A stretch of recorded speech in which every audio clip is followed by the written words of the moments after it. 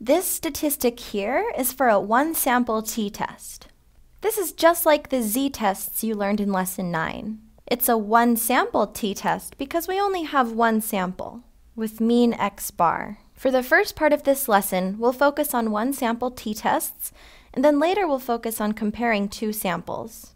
We want to know if the population that this sample comes from is significantly different from the population with this mean. Therefore, the null hypothesis is that the population mean is equal to some specified value, mu naught. And the alternative hypothesis can be either that mu is less than mu naught, greater than mu naught, or just not equal to mu naught.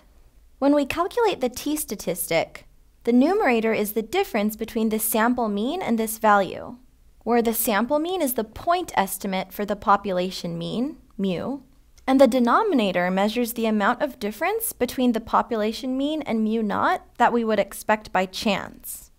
Again, we have our alpha levels, which are written in the column headers of the t-table. The t-table tells us the t-critical values that mark the cutoff point for the alpha levels. If our t-statistic is greater than these t-critical values, or if we get a negative t-statistic that is less than the negative t-critical value cutting off that alpha level, then we can reject the null.